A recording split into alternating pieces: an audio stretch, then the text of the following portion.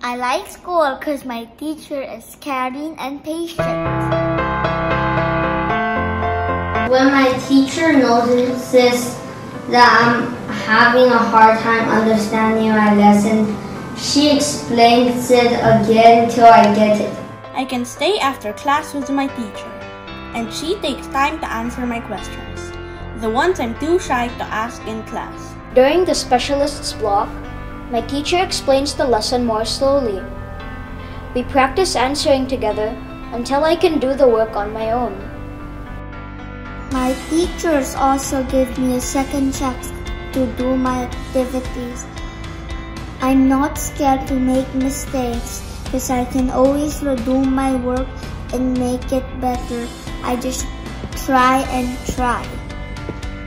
I like school now because I have longer time to work on my activities.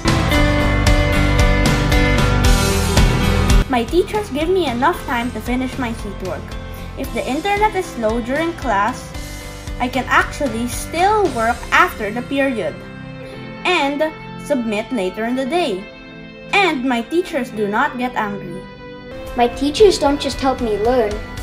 Whenever I feel happy or sad, I know they're there and I can talk to them about anything. She checks up on me and she listens to all my stories. I like Health Break because the teacher lets me draw, talk, and play together with my classmates. School is fun,